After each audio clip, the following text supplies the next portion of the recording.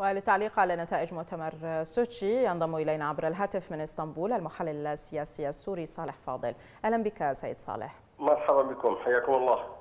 سيد صالح بعد انتهاء مؤتمر سوتشي وتشكيل لجنة دستورية كيف تقيم هذه الخطوة في سبيل التوصل إلى الحل السياسي في سوريا؟ حقيقة أستاذة والسادة المستمعين بارك الله بكم جميعا. أنا أتيت من الداخل منذ يومين ووجدت أولا أن القاعدة الشعبية لمؤتمر سوتشي هي صفر تمام صفر بامتياز.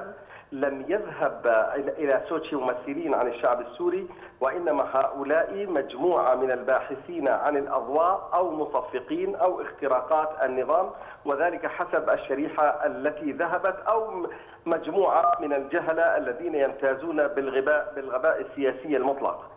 أمر آخر من هذا المنطلق ومن نوعية المشاركين في سوتشي والمدعوين نستطيع أن نقول أن القيمة التي خرج بها سوتشي هي لا تساوي قيمة تيكت طائره لراكب واحد مسافر إلى سوتشي، هي لا قيمة لها اطلاقا لا اعتراف دولي ولا اعتراف محلي بل ولا قناعة روسية الآن بنتائج هذا المؤتمر، ولذلك أحالت هذه اللجنة وربطتها بأخوة مشاركين غير مشاركين عفوا في سوتشي لإكمال المهمة الدستورية المرفوضة سلفا من شعبنا في سوريا لكن لكن بالنهاية يعني وصلوا لنتيجة تتعلق بالدستور وكذلك ربطوا سوتشي بجنيف، كيف سيؤثر مؤتمر سوتشي برأيك وبهذه النتيجة التي توصل إليها على الجولة القادمة في جنيف؟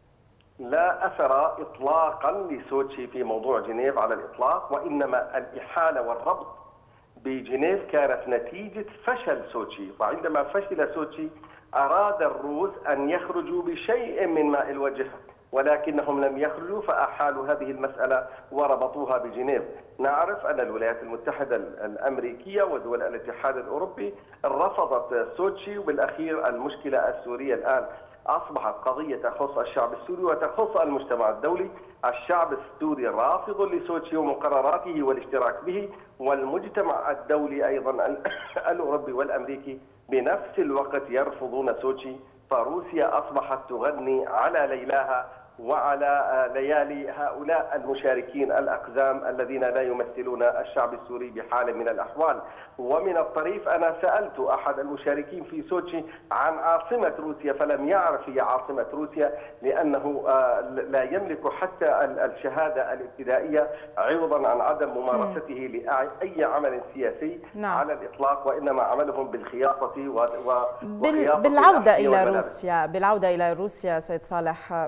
روسيا لا زالت تمارس نوعا من الدور المؤثر بشكل أو بآخر في المشهد السوري سواء من خلال قصف المدنيين أو إفشال قرار مجلس الأمن للإغاثة في سوريا أو أو غيرها من من الأدوار التي تلعبها سوريا عسكريا في على الأرض في في سوريا، ما هي الدوافع الروسية من كل هذه الأدوار؟ الحقيقة يعني اليوم طبائع الاستبداد أو طبيعة المستبدين هي طبيعة واحدة. الطبيعة الأسدية هي نفسها الطبيعة الروسية عندما يرفض الشعب السوري شيئا من الاستحقاقات الرئاسية السورية تجد أن الطيران السوري يقصف المدنيين وبطريقة عمياء هنا وهناك. أيضا الروس عندما فشلوا بسوتشي أو عرفوا حتى مسبقا أنهم سيفشلون بدأوا بممارسة الضغط على الشعب السوري.